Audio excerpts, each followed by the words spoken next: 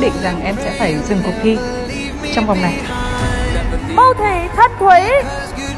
Điều đó em bị loạn. 218 Phạm Hồng Thúy Vân Âu phải dừng cuộc chơi tại đây. Nếu như mà đây là quyết định của ban giám khảo thì bạn hãy chấp nhận điều đó.